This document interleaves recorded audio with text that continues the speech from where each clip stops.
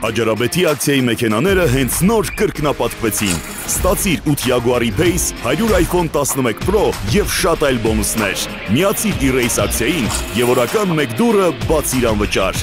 Աջարաբետ.am Բարև ձեզ։ Եթերում 24-ի հարցազրույցն է։ Տաղավարում իմ զրուցակիցն է քաղտեխնոլոգ Կարեն Քոչարյանը։ Բարև ձեզ, պարոն Քոչարյան։ Ձեզ։ Պարոն Քոչարյան, ընդհանուր երկրում տեղի ունեցող իրադարձություններին վստահ եմ հետևում եք, նախ կորոնավիրուսի իրավիճակի հետ կապված արտակարգ դրություն, բայց մինչ դրան անդրադառնալը ես կուզեի մեր խորհրդարանի պատկերի մասին խոսեինք նախորդին տեղի ունեցած։ Մենք արդեն 2 տարի է նման պատկերի ականատես ենք, սա նորություն չէ, երբ ինչ որ կարևոր հարց ենք գնում քննարկելու, հետո բովանդակային քննարկումը չգիտես ինչու շեղվում է եւ Իմիջիայլոց երկարամյա քաղաքական գործիչները այնպիսի բառապաշար են օգտագործում, որը հաստատ իրենց հարիստ չէ։ Ինչու է դեռ նման պատկերը շարունակվում եւ ի վերջո մենք կարողանալ ենք բովանդակային հարցեր քննարկել ասազգային ժողովում, թե ոչ։ Տեսեք, նախ նորություն չի մեզ համար եւ ընդհանրապես աշխարհում պարլամենտներում նման հա պահելաձևը լինում են անգամ մեր մեր պարլամենտում էլ է եղել սկսած դեռ 96 թվականից 96 թվականից, այո, սեպտեմբերյան դեպքերից հետո, հետո էլ Այստեղ խնդիրը ուրիշ բանի մեջ է։ Այստեղ խնդիրը նրանում է, որ ինչքան էլ ասում եք երկարամյա, երկարամյա չեն,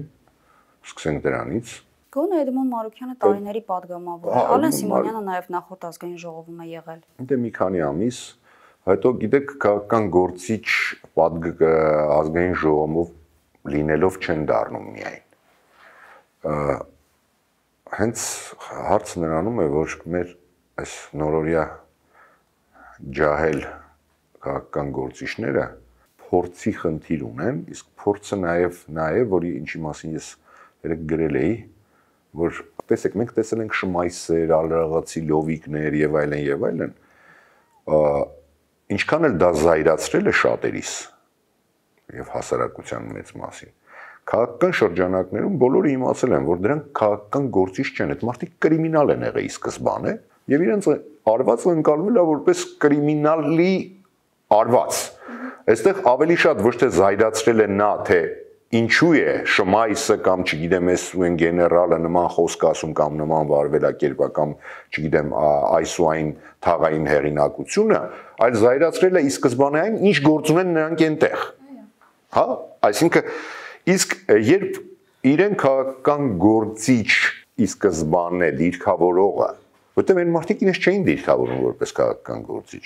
հա, նրանք կրիմինալ էին, բոլորը գիտեին, որ կրիմինալ էին, իրանք էլ չէին թաքցնում, որ իրենք կրիմինալ էին, իրենց պահում էին որպես կրիմինալ։ Բայց երբ քաղաքական գործիչն է իրեն սկսում, չէի ասի կրիմինալ, որովհետև դա արդեն այդ ամեն ինչը կիսատ է, էլի, որ ուզում են ինչ որ տղայական, թաղային ինչ որ բաներ անել, դա չի ներվում Դա այսպես ասած, դա այդպիսի բան կա, որ փոխում են, հա, իրենց իրենց բանը փոխում են։ Եթե դու քաղաքական գործիչ ես ընկեր, պետք է մնաս քաղաքական գործչի ստատուսում։ Դու կարող ես քաղաքական հայտարարություն անել, քննադատել, ինչ ուզում ես արա։ Դա ներվում է։ Բայց երբ դու մտնում ես արդեն լրիվ այլ բոստան, կրիմինալի բոստան, իբր քաղաքական գործիչ լինելով իբր կրիմինալի բոստան ես մտնում այսինքն այդ ամեն ինչը կիսահղի վիճակն է ոչ ենես ոչ ենես ոչ ենես ժոր արդեն ինձ թվում է ժամանակն է մի հատ հա հասկանաք դուք ինչ եք քաղաքական գործիչ եք կրիմինալ եք կիսակրիմինալ եք թե պարզապես ինչ որ ֆրայերներ եք չգիտեմ Պանկո ջան, հեղափոխականները կարծես թե ճակերտերում չեն ներում նրանց, ովքեր իրենց հետ չեն քայլել։ Ամենավառ օրինակը հենց Էդմոն Մարուկյանի Լուսավոր Հայաստան խմբակցությանն ուղված այն խոսքերն են, որ դուք չեք քայլել, դուք գոնե պետք է չխոսեք, ավելին երբեմն նաև ասում են, որ նույն ԼՀԿ-ն սпасարկում է նախկիններից Միքայել Մինասյանի շահերը։ Արդյոք կարելի է անընդհատ այս թեզի վրա խաղալ։ Գիտեք, սա էլ նոր բան չի, դա սկսել է հենց անմիջապես հեղափոխությունից հետո։ Բայց պիտի ավարտվեր չէ ինչ որ Գիտեք, մարդիկ այն որ ասում են մնում են ինչ որ, հա, կան դերասաններ, որ մնում են մի դերի տակ, հա, չգիտեմ, կան ինչ որ բաներ, որ մնում են մի ստեղծագործության տակ։ Հիմա ինձ թվում է, այս քաղաքական ուժը մնացել է այդ հեղափոխության տակ, ու ոչ մի կերպ չի դուրս գալի դրա տակից։ Առանց հասկանալու ու առանց ծանրակշիռ թեթև, հա, ծանր ու թեթև անելու, որ մի բան է, երբ դու էйֆորիայի ժամանակ ես դա անում, երբ հասարակության մեծ մասը զզված լինելով այո այդ նախկիններից, ես արդեն նախկին բառն էլ է ինձ իմ մոտ զզման կառաջացնում, այնքան են իրանք շահագործել այդ բառը ամեն գնով աջակցել են այս ուժին այդ ժամանակ բայց նախքին ասված արդեն 2 տարի է չկա ու չի լինելու թող չվախացնեն մեզ բոբո են սարքի, այ որ մենք չլենք նախկինները կգան։ Ինչի՞ հայազգի արգանդը չորացել է, կամ պետք է կրիմինալ լինեն կոռուպցիոներ, կամ չգիտեմ, բույս, ուրիշ ձև չի լինում։ Լինում է։ Կգան իրանց փոխարեն ուրիշները, բայց ոչ նախկինները։ Դե վարչապետի ասած եթե իրենք ուզենային սամասուդ անել, սամասուդ կանեին, բայց չեն արել, որովհետև Գիտեք, վարչապետին այդ նախ ես չգիտեմ անգամ իրավունք ունեմ խորուրդ տամ, թե ասեմ, որ երկրի առաջին դեմքի շուրթերից նման բառեր հնչելը կապ չունի ինչ կոնտեքստում հնչել, արդեն հարիր չէ այդ սամասուդից հետո դրա համար երեք գավառում որոշեցին, որ կարող են սամասուդ անել։ Երբ որ դու բարերին չեն հետևում ոչ մեկ։ Մեկ եւ երկրորդը երկու տարի այս իշխանությունը ինչ ասես ասում է, բայց մի հատ հին անեկդոտ կա եթերային չի, որ պատմեմ։ Սրանք մենակ խոսում են։ Մենակ ասում են Իրենք ոչ մի բան էլ չեն կարողանում անել։ Ոչ պատերին են կարում ծեփեն, ոչ ասֆալտին, ոչ սամասուտ, ոչ մի բան, ոչ փողերն են կարում վերադարձնեն, ոչ օլիգարխներին են կարում բան անեն, օրենքներ են ընդունում, չգիտեմ ինչ են անում, ոչ մի բան չեն կարողանում անել։ Միայն խոսում են, օթում։ Դե գուցե դրանից էլ հիասթափվածների շրջանակը մեծանում է վարչապետը տասնյակով ներկայացնում այն վարչապետը։ խնդրեմն է։ Այսինքն խնդիրը հիասթափվածների նաև իշխանության մեջ է, ոչ թե օրինակ որ նախկինները Չէ, ասում դա իշխանության մեծ խնդրեմն է, որ իրանք ունեն այդքան հիասթափված ու ֆիքսում են այդ հիասթափվածներին։ Այսինքն չեն կարողանում որովհետև այդ մարդիկ, որովհետև հիասթափված թե վարչապետը նշում էր հիասթափվածների շրջանում նախկիններին օրինակ, բայց նախկինները դժվար հիասթափվեին, չեմ կարծում որ նախկինները հիասթափվել բառը հայերենում ինձ սովորեցրել են, դա այն է, որ ինչ որ մի բանին հավատում ես, սпасելիք ունես, հետո չի իրականանում ու դու հիասթափվում ես չեմ կարծում որ նախկինները որևէ սпасելիք ունեին Նիկոլ Փաշինյանից, որ հիմա հիաստափվել է։ Ներկա իշխանությանը շատ կարճ կտևեր այդ հեղափոխական ընթացքը եւ նորից հետ կվերադառնային դա առիթ չէ հիաստափվելու համար։ Չեմ կարծում որ նրանք այդ հույսերը ունեցել են։ Այդտեղ ես երևի վարչապետի հետ համաձայն եմ, որ 3 ամիսը մեկ ասում են հեսա հետ կգանք, միգուցե սնում են իրենց բաները, բայց դա չի լինելու։ Չեմ կարծում որ այնտեղ ռեալ հիաստափվածներ կան։ Հիաստափվածները դա Նիկոլ Փաշինյանի եւ այս շարժման աջակիցների մեջ մանեկեք։ Դրանք են հիասթափվել որտեվ այդ մարդիկ պաշտոն չստացողները հիասթափվել են խոստումներ որ ատարվել են ու չեն կատարվել հիասթափվել են մարդիկ այսօր սոված են հիասթափվել են 20 օր առաջ ասում է որ կարող եք կոմունալները չվճարել հետո ասում է դե բանը մատերը սխաչ է արել երևի չգիտեմ բաներ ասեցի էլի հիմա ինչ եք ամեն ինչի հետևից ընկնում դու պատենց բաներից հիասթափվում են հիշատակեցիք գավառի դեպքը. Սա ում մեղավորությունն է ոստիկանության թուլության, ոստիկանապետի անգործության։ Գիտեք, ես կարծում եմ յուրաքանչյուր նման դեպք առանձին անալիզի վերլուծության խնդիր ունի համակարգում եւ պետ իշխանության ներսում հիմա կոնկրետ ասել ընդհանուր իհարկե ոստիկանության թուլությունն է ասել որ նախկինում ամեն ինչ շատ լավ էր իսկ հիմա վատ է նախկինում էլ է եղել նույն ՊՊՑ-ն նախկինների օրեք է մտել բայց եթե եղել է նախկինում դա չի նշանակում որ դե հա ինչ անենք նախկինում էլ է եղել հիմա էլ լինի դե վաղն էլ կլինի էլի դες չի լինում ես գտնում եմ որ ոստիկանապետը անմիջապես պիտի հրաժարական տա նորմալ երկրներում այդպես է լինում մի վարքյան անգամ կասկած չի լինում ու այդ 500 հոգի են եղել այդ արդեն ծիծաղելի ավելի է ծիծաղելի դարձնում ընդ որում ոստիկանապետը պետք է հրաժարական տա ոչ թե նրա համար միայն որ նման դեպք է տեղի ունեցել այլ որ եթե ինքը հրաժարական չտա եկուս միսօր ինչ ինքը ասի անլուրջ են անդամնելու իրան այսուհետ ինքը որ ինձ համար ինքը ոստիկանապետ չի դիտորդ է դիտորդական առաքելություն իրականացնող մարդ էր գնաց Քյավառ ֆիքսեց կատարվածը հետ եկավ կամ հետ չեկավ մնացել է հələ։ Պարոն Քոչարյան, այս բնորոշենք սա վենդետան քաղաքացիների մոտ ինչի պատճառով է առաջացել, որ ինքնադատաստան են տեսնում այս կամ այն արծով։ Գուցե սա կենցաղային ուղակի որևէ միջադեպ է, որին պետք չէ նման ենթատեքստ հաղորդել, բայց այդուամենայնիվ։ Տեսեք, նման դեպքեր միշտ եղել են բոլոր ժամանակներում, բոլոր երկրներում, ամեն ինչ էլ լինում է։ Այսինքն ես սա չեմ դիտարկում որպես ապոկալիպսիս։ Խնդիրը նորից եմ ասում, նրանում է, որ Պարզապես պետք է վերլուծել ու հասկանալ, որպեսզի մարդիկ սկսեն արդեն ավելի ձիգ լինել։ Հասկանալի է, հիմա մի քիչ ավելի ծանր է վիճակը։ Այս մարդիկ դեպրեսիայի մեջ են ընկել, երկու ամիսա տնից դուրս չեն գալի, արդեն գումարի խնդիր ունեն ուտելու իրենց երեխային սոված չտեսնելու խնդիր ունեն։ Այս ամեն ինչի ֆոնի վրա նման բաներ կարող են լինել։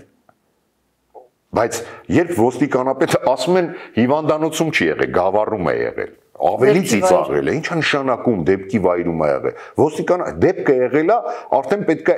այդ քաղաքը լրիվ sense որ ասում է ացեպլինի լիներ։ Ընդ արդեն ճանճ չպետքա թռներ։ 500 հոգից ո՞րն է։ Կամ 500 հոգի են եղել, Փարքասո հիմա չկա չարիք առանց բարիք օրենք եք ընդունել որ հերախոսներով իդենտիֆիկացնում եք դե իդենտիֆիկացրեք բարդ բան չի յուրաքանչյուր IT-շնիկ մի րոպեում դա կարա անի իդենտիֆիկացրեք 500-ին էլ դատեք կարակ չեք կարա որովհետև նախ չի եղել այդ 500-ը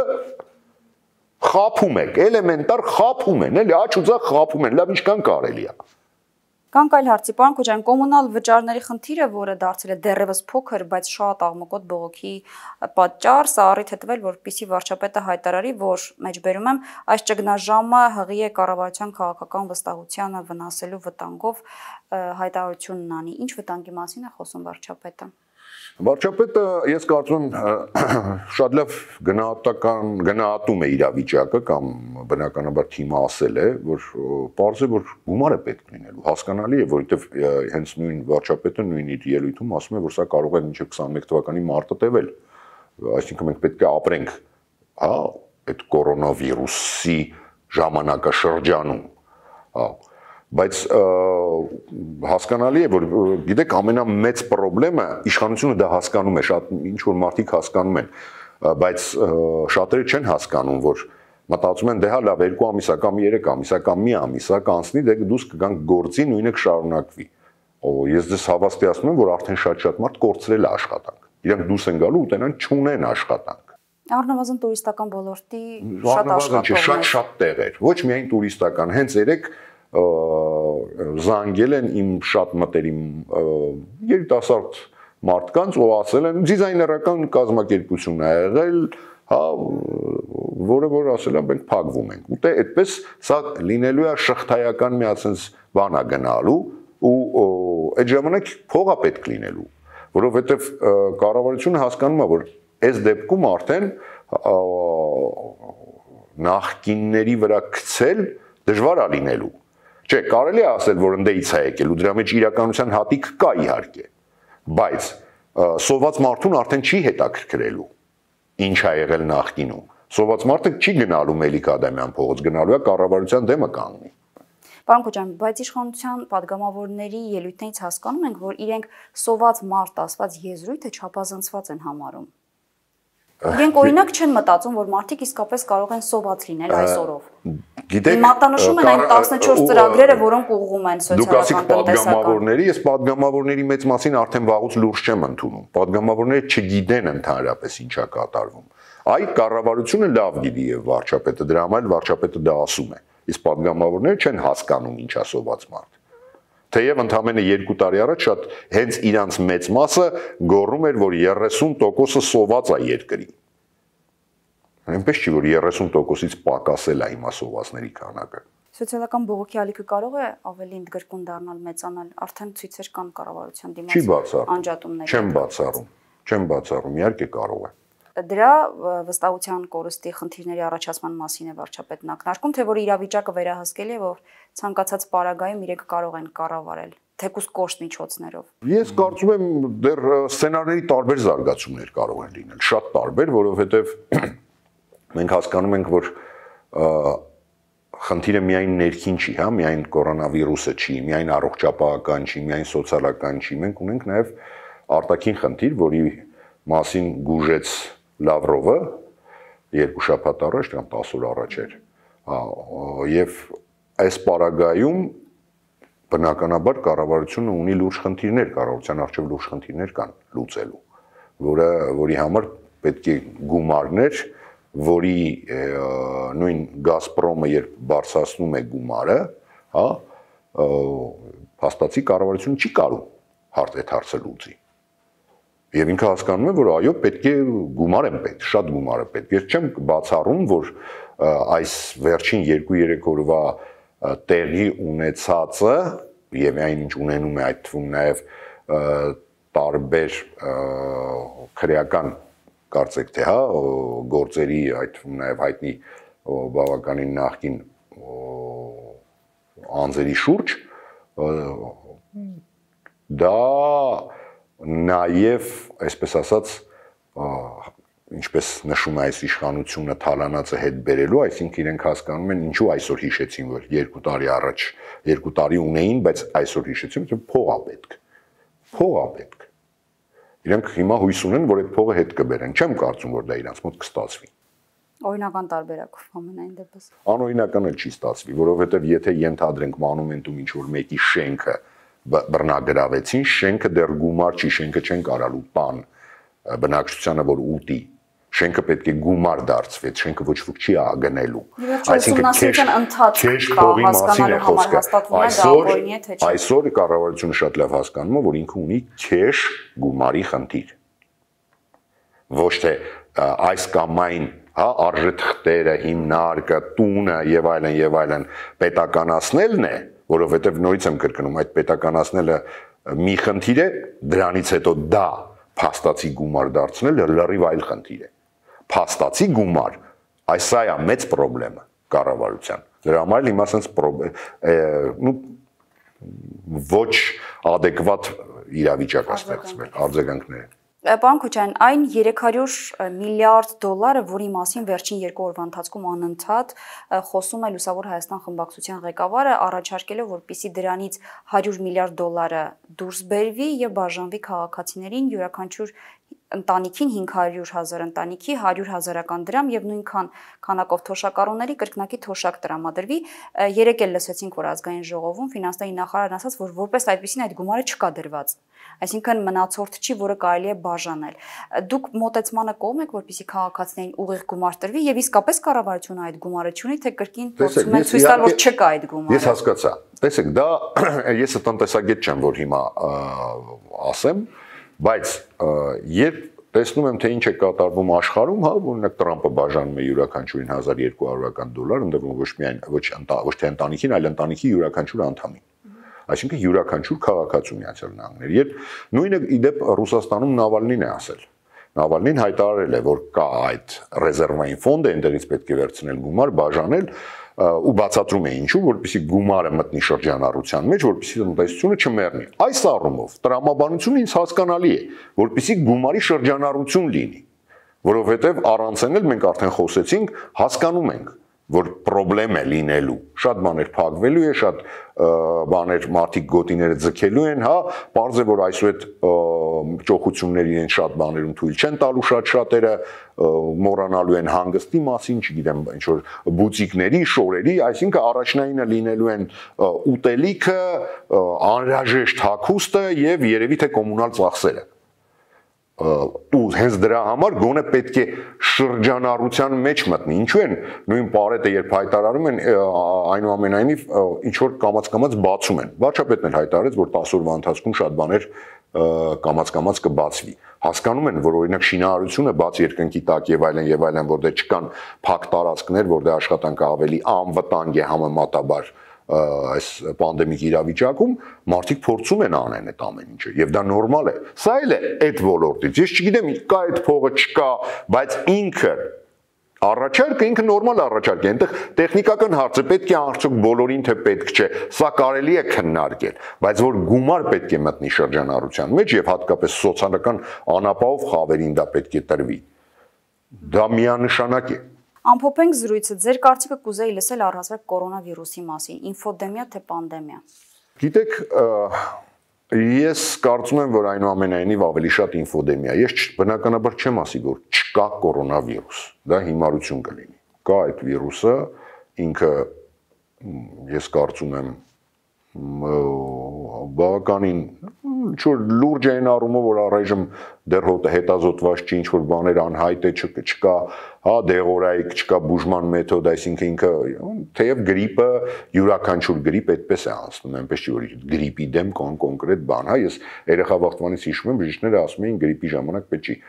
դեղ խմել պետք է հեղուկներ խմել որովհետև հեղուկի հետ է դուրս գալիս այդ վիրուսը Հիմա էլ են նույնն ասում իդեպ, հենց առաջի օրվանից ասում էին շատ հեղուկ օգտագործեք, շատ հեղուկ օգտագործեք։ Բայց երբ Պարզապես արդեն 4 ամսվա, հա, այսպես ասած, ու հա, հունվարի 1-ից 3-ին առաջի անգամ Չինաստանում հայտարարեցին, հետո գնաց այդ հիստերիկան տենց բան եղավ։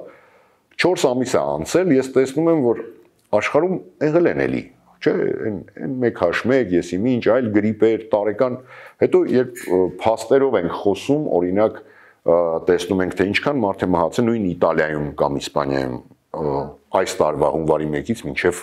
մարտի 31-ը եւ անցյալ տարվա նախանցյալ տարվա տեսնում ենք որ մահեր չեն ավելացել առանձնապես մեծ տարբերություն չկա պարզապես ստացվում է այնպես որ աշխարհում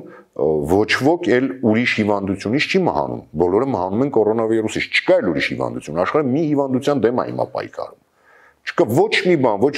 սրտային հիվանդություն կա, պլանային բոլոր